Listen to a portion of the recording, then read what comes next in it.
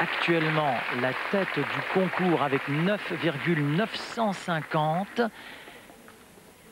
Mais nous attendons avec impatience les notes de Victoria Stadnik que nous venons de voir.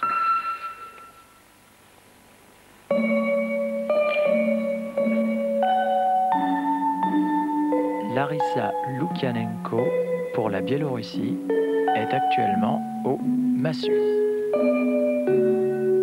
Deux petites quilles de 150 grammes chacune qu'elle va projeter haut dans le ciel également, vous allez le voir.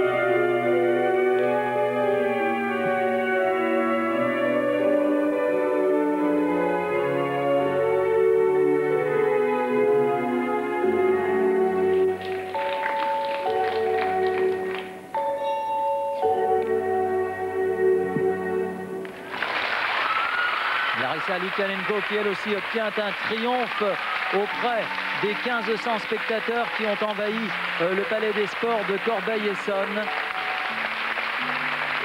Les massues, euh, Christelle, qui sont euh, le, le, les seuls éléments qui peuvent être dissociés en matière de GRS. Le ruban, le ballon, évidemment, ne, ne font, ne font qu'un. Euh, les massues, en revanche, peuvent être lancées euh, de façon dissociée. Oui, tout à fait. Et c'est vrai que c'est un engin particulièrement difficile parce que euh, c'est un engin qui en fait deux, en fait. Et il faut avoir de, de, bons yeux pour bien les rattraper, ces massues. Larissa qui, ici...